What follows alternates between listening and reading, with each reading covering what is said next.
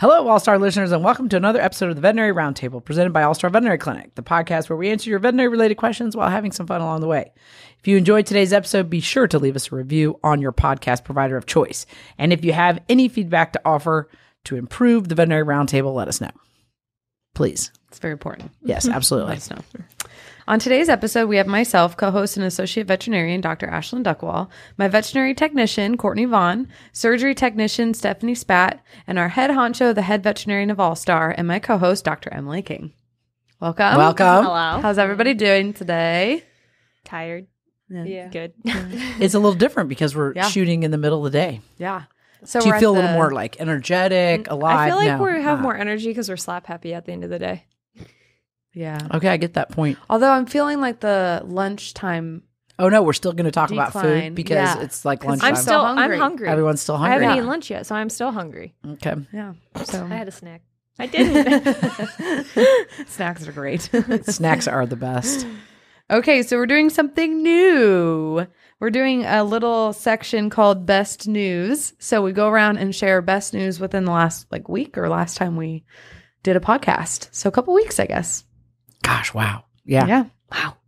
Time flies by when you're having fun. I think Courtney should go first. Okay, Courtney. She's got great Yeah, news. she's got great news. I got a puppy. Jacob and I adopted a little 11 week old pit bull mix. We don't know what his dad was, so he's a mystery puppy. We have no idea what he's going to look like when he grows up, but he's fantastic. His name is Miles Quinn Allen. He's fluffy. Yeah, he's a He's fluffy cute. pitty. Yeah, he's blue great. and and white. white. His eyes are so cute. Oh, I know. he's got blue eyes. yeah, I One love his little eyes. patch of gray around Yeah. his eye. He's a good boy. Obviously, he'll be on our social media. Yes. Yeah. Yes, he'll be out there. Yes. He was a star yesterday. Yep. Yeah. He's going to be a TikTok Stars star. born. He's going to be a TikTok star. Yep, exactly. yeah, he's a good boy. I like it. That's great news. It's always great. It's great. Have puppies around Yeah. Mhm. Yeah. Well, most of the time. Mm, most of the time. You're right. Yeah. The training's not so fun. Yeah. he chewed through our internet cord already and my phone charger. Oh, But the oh, internet cord was an accident. He was chewing on his chew, and I think the cord got in his mouth by accident because he was next to the couch and chewed right through it. And then I put him in bed yesterday with Jacob, and Jacob fell back asleep, and he chewed my phone cord in half. So that was Dad's fault. That is, yes. Dad got in trouble, not puppy. Puppies are innocent always. oh gosh, they're only as good as the people. That's right? right. Yeah. That's right. yep. That's for sure. It's a hard lesson to learn. Mhm. Yeah. What Yeah. about you, Stephanie? Uh, well, this past weekend, um, I was in Ohio, uh, but I got to, I guess, reunite with my um, my stepmother, who I haven't seen since last year, my wedding. Okay. Um, so she had traveled up from North Carolina, so I got to see her. Um, so it's a very rare occurrence that I get to, I guess, meet up with my family because they're all in North Carolina or California, and so, um, so that was really nice to catch up with her. Yeah, that's awesome. Family time's the best. And the weather was probably really nice. It was a good weekend, wasn't Oh, it? yeah. Like to have everybody. That's really cool. Yeah. That's awesome. Well, good. That's very exciting. What about you? You know, I had a really hard time coming up with best news, not because there isn't any best news, because there's always best news, right? Um, so, um, well, one of the best news is totally because we didn't mention earlier how all the followers that we've been gaining. So that's like a really exciting best news. Yeah. That is good news. You know, so we got to Yeah. thank all those guys for that. But then also, it's got to be about food. Always. So I pulled out the old recipe, the pumpkin chocolate chip cookie recipe. Oh, It's legit. It's really good. I'm not a pumpkin person, but I would try that. Oh, they're so good. And then um I made them on Sunday and they disappear really quickly. Yeah. Are you gonna bring some in? Um well, Harrison, do you still have any of yours left? Nope, he ate them. I sent him with a baggie home and I had to freeze some and yesterday so I froze a baggie cuz I'm like they will eat them all. Yes. Maybe I can make them forget about them if I put them away in the freezer and then they'll forget them because I always make two batches because they go very fast. And so I was like, I'll freeze this batch and then they'll forget and then I can pull them out next weekend or whatever. So I put the batch in the freezer. Uh-oh. They, I, last night I get home from work, they're all coming in from their activities and they're like, where are the pumpkin chocolate chip cookies? I'm like, in the freezer. Sure. said they're gone. and they're gone. Sniff them out. yep, they sniff them out. So they're gone. I will bring some. You Because they're to. not You're a hard recipe. talk. I'll hold I you to that. Now, somebody at where was it? Somebody was talking about the easy recipe for pumpkin chocolate chip cookies. Was that with you, Harrison? What's the hard recipe? no, when, at Charles dinner on makes an easy one. I don't know what it They're- is. they though. talk about using like the spice cake recipe. oh. Who was it? Allie Cook. It was in the leadership meeting. That's right. Um, because I, I also feel he was talking about these, I guess, on Monday too. Um, so there was a spice cake that mix, and you Yeah. just add pumpkin to it. Isn't that what she was saying? Maybe like you make up the cake mix as it says on the box, but then you just add a can of pumpkin, Yeah. and she's like, hmm. easy pleasy. Huh. I have not done that, so do not do mean, it that. I do not feel know like- if that's a true recipe. I recipe. feel like it sounds Yeah. like it would work. but my recipe is like I don't know. ten ingredients, so it's not hard to make because you just throw it all together. But Yeah. it's like you know a lot of different things. Can't I'll wait bring to 'em try in. them. They're good. Yeah, I'm very excited. Okay, I'm bringing them I'll hold you for to sure. it. Okay, Uh, my Duckwall? best news is for my dad. He retired uh, last week. that's So He exciting. sold his business, his golf business, and that's the only job he's ever had for 47 Wow. years. He started there when he was 14, worked his way up, bought That it is in awesome. 1991, drove dri- driving the same path to work for 47 years. So, um, similar to All Star, he had n- got approached, and it was a good just set up, and so now he's officially a retired man. Good for That's him. awesome. Yeah. That's so awesome. we're excited. awesome. It's kind of it's weird because he that's all he knew even before meeting my mom, and that's Yeah. where how where we grew up and all that stuff, kind of. But um No, just sitting at home twiddling his thumbs. no, he's definitely not that. Yeah, he'll be very active. He Yeah. wants to give back to the community. He said and um spend more time with us. So That's nice. That's cool. yeah, Very proud of cool. him. Very cool. Very Yeah. exciting time. Okay, are we on to case collections? yeah, we're on to it. On to it. Okay, We know the drill. Courtney, case collection. Do you have one? Yeah, I do. Okay. If I didn't, or if I don't want to share, do I have to? Just kidding. She's out. Get her off this podcast. Remove her. We need like a button, a lever. no. Blast or a drop. They either go up or down, one of the two. Um, so Dr. Duckwall and I actually had a um, staffy, so like a pit bull, um, come in two weeks ago, I believe, um, for a potential like paw infection, like skin infection. So she is a known dog to have skin problems. She has allergies, so she's on allergy medication, stuff like that. Um, so her paws were just a little bit inflamed. Um, so we just put her on an antibiotic and a steroid, um, thinking that would take care of everything. And then I checked in on her, um, and she still, they weren't improving as well as they should have. Um, so then we put her on a topical ointment um, and gave dad a cone, so an e-collar, so she couldn't look at her paws and worsen them. Um, so dad was doing that for a little, a couple days, um, and then he had reached back out and sent us pictures, and the paws actually looked a lot worse. And she got to the point where every time dad would try to put the ointment on, he would bite her um, because she was so painful, which is very unlike her. She loves her dad. I mean, she's a sweet girl. Um, she loves her dad. So she was biting him um, and she started limping really bad on her front paws. Um, so we had her come back in and we sedated her this time because she is, she's a really good dog. She just doesn't like a whole lot of restraint and really holding her paws and stuff like that. So we fully sedated her with injectable sedation um, and looked at her paws further. And we actually found, well, dad had mentioned she had these kind of weird growths um, that he noticed. So we took a look at them um, and they ended up being papillomavirus. Um, so she was just a really, really severe case. Um, so papillomavirus is easily transmittable to other dogs. A lot of dogs get it from like boarding situations, stuff like that. Um, and usually the main places the growths grow is their paws and their mouth most of the time and they kind of just look like almost like skin tags or horns. Um, so she had them all over her paws. Um, so we took a biopsy just to ensure that that's what it was. Um, and then what you do is you crush them with hemostats, and typically that takes care of them. You just make them really angry, and then there's an immu- immune response. Um, and they usually go away, but they can reoccur. They can come back. Um, and then we put her on a couple other medications. And she seems to be doing a little bit better. So dad mm-hmm. said that she's not as painful. He's able to put the new cream on her paws. Um, so yeah, she's doing a little bit better, I guess. And so we'll just see with time. Make sure they go away all the way. Awesome. It was a pretty severe case. I Yeah. they sometimes dogs will get them like a couple, you know, or like I guess on the mouth, even if there's a mm-hmm. lot, it doesn't bother them as much. But hers were right on pressure points where she was mm-hmm. walking, oh. and so it was just yeah, Yeah, and her, their her paws were swollen, and yeah, Yeah. So I think the rule of thumb is 12 weeks, right? I mean, they say, I think 12 weeks uh, for remission. They'll go into remission mm-hmm. in 12 weeks, mm-hmm. but I think they're contagious until. yeah, right, and that's where Yeah. like because you can surgically remove them, but you still run the risk of seeding or leaving things behind. Mm-hmm. And so at that time, they were just in bad spots where we just I crushed as hard as I could to get remo- remove them, and then took her off the pred because obviously Oh, yeah. that wasn't Yeah, helping that's too key with her point, immune yeah. system. So The steroid. yeah, yeah, poor Yep. girl. She's Look doing away. a little bit better. She's Mm-hmm. great. She'll be back next week to recheck them. So Yeah, doggy see. daycares because they're all drinking the same water. Mm-hmm. You know, so it's very they contagious. yeah contain toys. It gets on Yeah. toys and everything else. So it's very very common. a wildfire. yeah, but manageable. but manageable. Thankfully, it just goes away. You don't Yeah. have to. You know, I mean, but some of them can be really bad. yeah, So Yeah. Stephanie, what about you?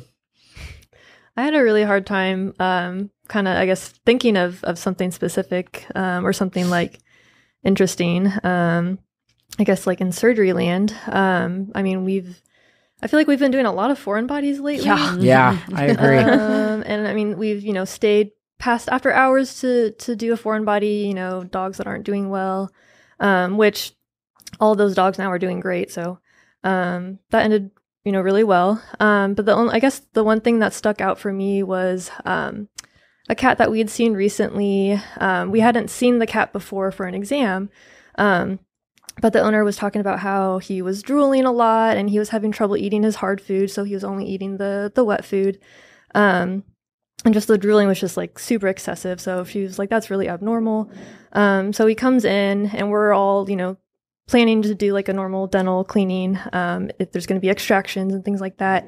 Um, the doc or the cat won't really let um, the doctor really look in his mouth at all, so it's hard to really tell. So we did end up going through with um, anesthetizing the cat. Um, so we had, you know, the IV catheter, everything set up. And then, um, you know, as soon as uh, we go to, to intubate the cat, um, you can see just this huge um, oral mass under the tongue, um, which, you know, is kind of, it's kind of a, what's the word, a little bit heartbreaking. Um, it's not what we expected at all. Um, but we wouldn't have even seen it without, I think, you know, the cat being sedated at all, just because he was so um, painful. Um, and it was just kind of bleeding and definitely like I could even tell just like trying to pull on his tongue a little bit to intubate, like it was so just like solid there. Um, but the doctor was able to uh, remove basically like almost all of it. Um, couldn't fully remove everything in clean margins just because of the location. Um, but the cat is um, on medication now, uh, and the I believe the mass did come back as a squamous cell, um, which you know is unfortunate. Um, but the cat is doing better, and he's comfortable. He's eating really well, um, and so you know I think at this point it's just about keeping him comfortable and um, just doing everything for him. But I mean, it did. You know, it did help him in the long run because otherwise, if we wouldn't have done anything or tried anything, he would have just been very uncomfortable. So, Yeah, I um, think the drooling was coming from his inability or unwillingness to move his tongue to swallow the drool. So then it was pooling and then obviously falling out of his mouth. So because he wasn't just swallowing Yeah. and moving his tongue to the back of the spit to the back of his tongue to swallow or whatever. Um, so yeah, that was those are always hard cases because you can't in that location at the base of the tongue, you can't remove it. yeah, that's Yeah. tough. Crappy location. Yeah, for sure. At least we were able to find it. And, Yeah. Diagnose them. I think Yeah. that really helps. I mean, Yeah, so at least you know what's going on, Yep.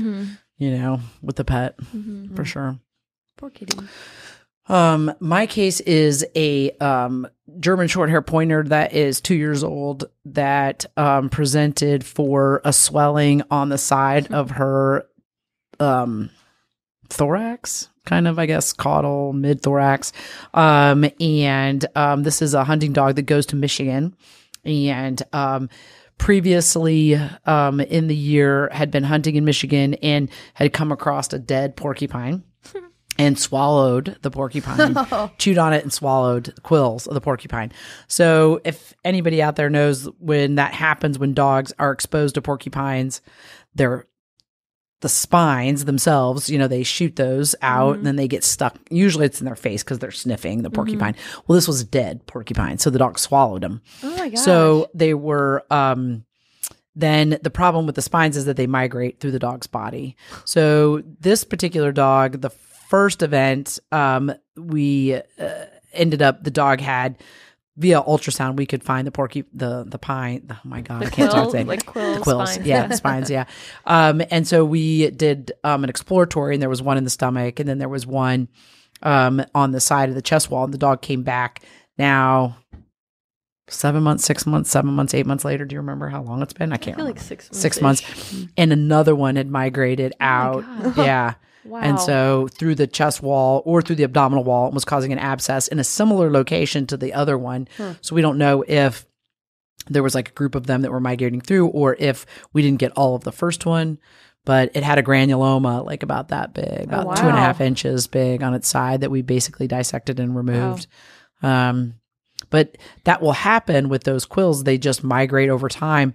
And there are stories of dogs unfortunately dying suddenly because it migrates yeah. you know, through their chest or through a major vessel, or it's really weird. Yeah. So do you do like CT to find like make sure you got them if the owner wanted to pursue that? Or I think that you can. I think you can do a CT to find them. Yeah. Um, whether or not you surgically go get them. right. Like what we found was that we found one in the omentum. This was last time we went in. One in the omentum, one in the stomach wall. Um, and the omental one was wall, Like that was pretty easy to get out. The stomach wall one was like it, and obviously because the dog ate it, had was migrating out through the stomach wall. Yeah. So it was like in the middle of the muscular layer of the stomach wall. Oh. It was really hard to dissect out. Yeah, I bet. Like, I mean, it was like a fibrous band knot. You're like, am I dissecting out quill? Am I dissecting out just fibrous tissue? Yeah. Like, what is going on? Um, and so, same thing happened with the one I took out yesterday. Is that it, it went the granuloma communicated all the way down to that area of the rib where it kind of curls around and goes into the abdomen, you know, where it's communicating with the abdomen. And it's like it dead ended there, you know, and it's Yeah. like, well, okay. I mean, I have nowhere else. I have nothing else I can remove. Yeah. So But you said you did get the quill out fingers crossed. We sent it in the, the tissue for histopath to Oh, see if they could find it. Okay. Yeah. You know, when I did an ultrasound over the area, I could not, it wasn't as nice of a view because you're supposed to have two hyperechoic lines with a hypoechoic middle um, on the ultrasound. And I could not find that in this granuloma that showed up. I could see this very bright white um, density that was then shadowing, but it wasn't large enough that I can make it into like a linear Yeah. object. Mhm. So I don't know. Hmm. What do you think Darn that feels like quills. eating that? I mean, that cannot be No, good, right? Like you say, dogs are smart and then they eat stuff like that. Doesn't make sense. I mean, you go online, you can see some of these pictures. Of, I mean, it's That's wild. Hundreds of quills, like mm-hmm. all Oh, in yeah, their I've- mouth and yeah. on their faces, and mm-hmm. yeah, wow, Poor thing. yeah, especially if you live in the areas with those. Yeah. So you can actually, the hunting dogs can actually be trained to avoid them. So you can actually teach them mm. aversion training or would make use aversion sense. training. So you can do that with porcupines and snakes, so they don't get themselves in Yeah. trouble. Can't even imagine Makes porcupine sense. quills. How much Yeah. those hurt? Because that I had would hurt. Sheldon, the hedgehog, and his quills. When I stepped on those, oh, Yeah. they're awful. Yeah. And he didn't shoot his; he just shed them. But still, Yeah. oh mm-hmm. my gosh, Yeah, sharp. yeah, oh, Gosh. they hurt. Well, uh, you'll have to keep us posted on what the Yeah. histopath. So comes very, back. very interesting case. Mm-hmm. So mine is um disappointing, sad, but um so it's a six and a half year old golden golden retriever. New client to us, second opinion um for skin issues. And the previous vet did a wonderful job at working the skin up. So basically doing all the necessary things and things you have to check off. So testing for ringworm, looking for skin infection, bacterial, um, looking for mites, all of these things. Like some infection was present, but no mites, no ringworm. Um, and then also this time of year, allergies, you know, treating for allergies as a flare up. And so knowing all this history, it's kind of like, well, we just have to look at the dog and see what we're dealing with. The first thing I noticed is that this is a purebred golden retriever and he was speckled white like a um Irish setter almost. Mm-hmm. But his so the speckles were white and the rest was the golden fur color. And I Of his fur, his Of his fur, was fur. spec- His oh, fur. fascinating. so I asked, I was like, is this normal for him? And she's like, well, it started to change about a year ago. And I said, okay, that's interesting. So then I saw some spots that had been shaved and it looked like they were probably healing hotspot type lesions. But as I ran my finger through the fur, unfortunately, they were just, his skin was just covered, diffusely covered with red spots, bumps, um, scaly areas. I mean, all over his body. There's no pattern where I would be like, oh, this is that. And then it was interesting because he has ripped two toenails off in the last like three weeks. I'm like, that on That's a dew abnormal? claw, on Yeah. a dew claw. Yeah. I'm like, wow, what is he doing? Is he getting it caught? And she's like, well, he was running around, but it completely tore off. And then I went to his mouth, and on his gum tissue area, there started to be some hypopigmentation. So it went from black to pink, and then some bump areas. And she said that was new. So all of these things are screaming to me on it's an autoimmune disease or it's unfortunately cancer, which is what we can see. So she we did biopsies that day, sent them to Texas and just got the report back that it was um, consistent with epitheliotropic T cell lymphoma. So very aggressive type of skin cancer that prognosis is guarded. Um, the dogs become miserable because they just are so either itchy, they're licking everywhere. You know, they get secondary infections, which is what's the itchy part, and because they have no protection. Um, but there is treatment. You can refer to an oncologist for chemotherapy. They do protocols. The therapy requires very strict monitoring because it can harm the, their liver. It's processed by the liver. The other option is palliative care with prednisone, which sometimes keeps them comfortable, whether it's the itchiness, their appetite, things like that. Um, or we just keep them comfortable with topical supportive care, essentially. So it was um, obviously unexpected, new news. And so they're still thinking about their next approaches. Um, unfortunately, I've had a case like this when I first started, and she did well on the prednisone for a while, but Yeah. They're does tough come- cases. they are because there's it's They're really just like, miserable. miserable. Yeah. The survival time is on average six months, Yeah. if that. So It's really sad to see, especially because he's so young and he's such a sweet Yeah. boy. Darn His mom's awesome. and- Yeah. it's just one of those diseases where like, ah, crap. I know. I don't want to have this conversation. I don't want to deliver this news. I don't want this for this dog. But It's always hard too when it's new clients because you're telling them something catastrophic, you know, Right. or you know, and so it's like you haven't had a chance to get to know them and build up all of that mm-hmm. trust, you know, Right. and it's just so hard to deliver that news. when, Right. You know, She was really nice. Yeah. I think those she's people so are so appreciative though of getting again, like what we talked about mm-hmm. earlier, getting the answer. Right. Like, okay, well, now I know an answer. Now I can wrap my brain around what the next steps are. You Right. know, mm-hmm. yeah, um, exactly. Instead of questioning. Yeah. but gosh, yeah, They've been dealing with it for a while. Yeah. So Poor bummer. Bummer. Yeah. Biopsies help with skin. biopsies, biopsies, biopsy, biopsy. But also, you had mentioned you send them to Texas, which is, you know, another important thing for people to, Yeah. I think, keep in mind is send them to Texas. Yes. Mm-hmm. The specific skin derm path. Skin, mm-hmm. yes, People. goes to Texas. That's all they look at. it makes it really does make a big difference It does. in terms of diagnosing them, and then which I think then goes a lot to if you're going to take the time to biopsy them. Mm-hmm. Send them to Texas. It's not any more expensive than sending them to your outside reference laboratory. Yep. You can work with the lab. Like we've got a whole little thing set up now where you basically we've you know got a little process in place. Yep. And so I don't feel like. Do you feel like as technicians that it's hard to do? To, you know, even though you're not no. using an, the same lab that No. you use every single day. The hardest thing is packaging, and once you do it once or twice, you're fine. yeah. It's not bad at all. And you can send pictures. I sent pictures with this Yeah. case, and they're appreciative how that lines up too. Yeah. So And that's their all commu- they their do. uh, communication skin, is you know? pretty Yeah. good too. Texas's lab, they're Yeah. really good about that kind of stuff. Yeah. So yeah, that's our pearl of wisdom. yeah, send them to Texas. send them to Texas, baby. All right, listener question. Here we go. It's a really good one. Could you do one on USMI? We'll explain that in young neutered males. Have a former guide dog pup with a diagnosis of USMI, and there's little info out there. Haley Worthington. It's a great question. Good question. Yes. Thanks for the question. Thanks for So, the question. So, what does USMI stand for, ladies? urethral? Uh huh. U.S. I don't know. I looked it up. I don't remember. I forgot already. Sphincter. Sphincter? Yes. Something incontinence. Yes. Yeah. Mechanism, Mechanism incontinence. incontinence. Yes. It Nice. sounds like a university. USMI. Uh huh. Yeah. Welcome to Right. USMI. Yeah. The PPs of. I was going to come up with a mascot name. Okay. when the peepees don't PP work. whippings. Okay, that's the joke for old. Never mind, it's an inside family joke. Okay, um, so uh, do you want to talk a little bit about what it is? Because I mean, Right. There's incontinence, like the group. So I think it's important for people to know, like incontinence is like this thing, this umbrella, and then there's these things underneath it Yes. that cause.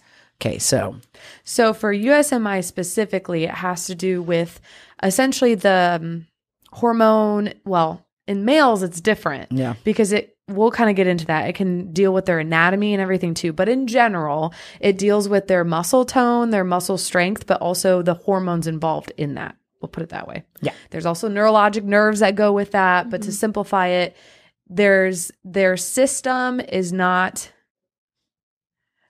tying together. it's not communicating. It's not communicating. So then, not all on the therefore, you page. get some leakage. yes. so that's the gist of this. Now, looking specifically at males, because it is rare. So, Haley, it's a Rare. great question because it's very, Yeah. very rare in males. There's actually poor, it's poorly understood. Little research is present. Mhm. But in males, um, it's more finite because it ha- it can deal with their their prostate, the location of the prostate. It can deal with their bladder and where the bladder is in their abdomen or in their pelvic region. It can deal with neutering and the hormones that go with that process. Um, so there's a lot that goes with it. Where in females, it's a little bit more straightforward.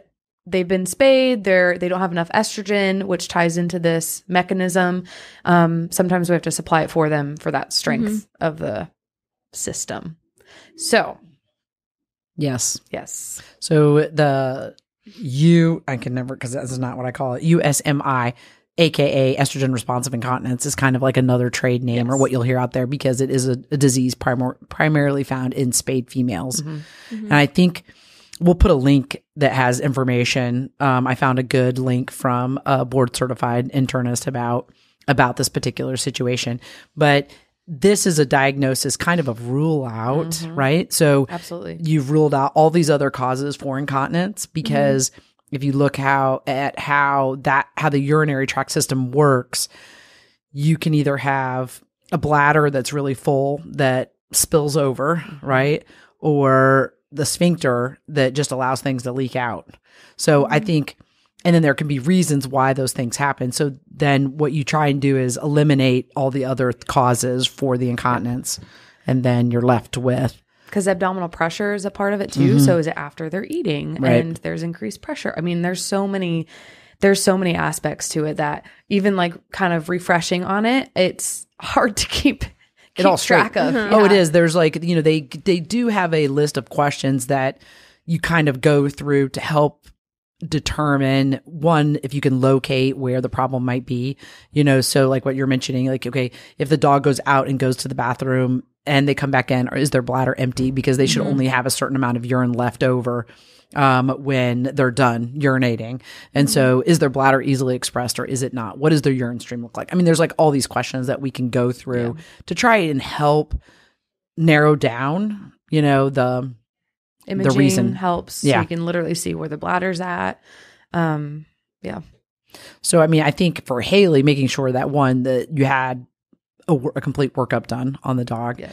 But then, if so, if they've eliminated all these differentials and you're left with this condition, which is unusual in a neutered male, but still occurs per research, um, then I think medication is Yeah. Their only choice.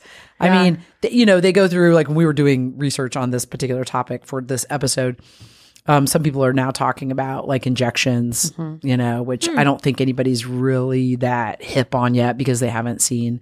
Right. Um, There's surgery options. Surgery. that- but it all depends on like I can't even name one in particular because it depends on the anatomy of the dog Right. too and things like that. So typically the first go to is going to be your medication. So Proin is Yeah. something we use a lot in females. So that's you can use it in males. yeah. So And then I think they talked about testosterone mhm. in males. Um, which is also kind of I know. debated. Yeah, debated. right, exactly. And then um, acupuncture, which I don't know if I saw anything in there on acupuncture or not. I think I read that that's Did you- option. Yeah, but- I've had a lot of luck with acupuncture, even in in females, if if it's attempted early. Like so, like say the pet just shows up with incontinence and um, there, it's not been going on for years or something like that, and they pursue acupuncture. We've actually been able to get control over the incontinence with acupuncture. Yeah. So that's, good. another thought to Yeah, keep that's in really mind too. And it's, I mean, I guess to Haley too, like ruling out all the other stuff, it can get pretty extensive. Oh, and yes. Financially involving because you have to go through all of the steps to make sure you're not missing anything and fall back on this rare disease. Um, so we were talking earlier, what are some things that you want to rule out in general, male or female, I guess, but male. that Urinary you tract infection, Mhm. Yeah. UTI. A mass in the bladder. Yep, Yep. yep, What are other things that can form in the urinary tract? Stones. yep. Yep, Bladder stones. Yep. What if it's an intact male? Could the prostate have to do with the Mhm. pushing on it, or if it's Yeah. enlarged? Yeah. Yeah. Enlarged, just Enlarged prostate, disease. Mhm. prostate Yeah. infection. Yeah. Yep.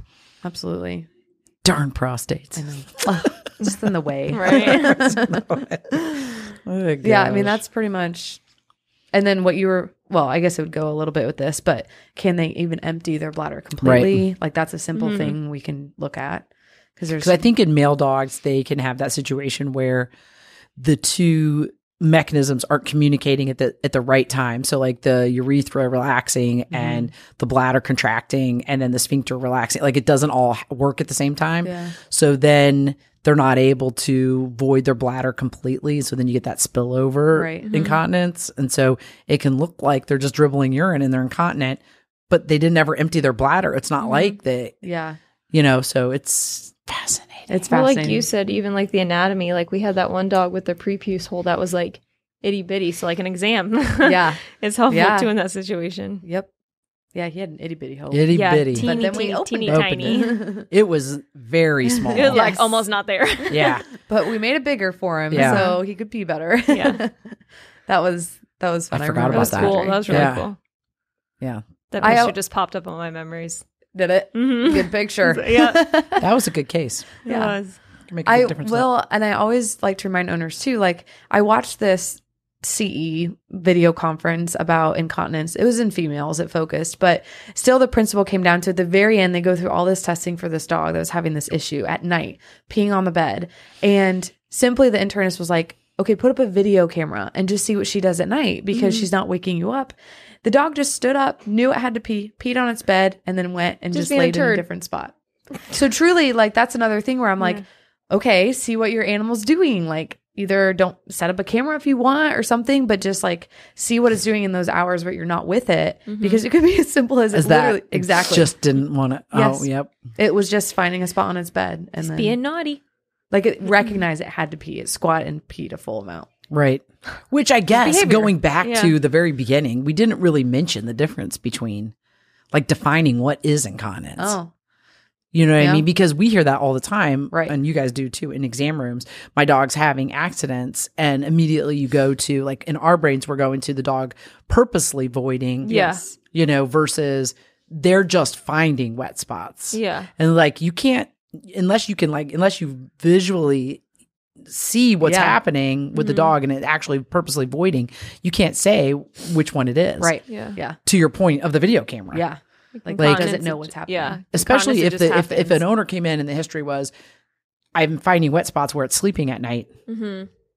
i mean we're all going to think incontinence Yeah. Yeah. you know Didn't happen because during it's the day. So incontinence is Yeah. defined as just leaking urine not knowing that you're Mhm. doing it Yep. Not aware. Yeah. so yeah fascinating Yeah.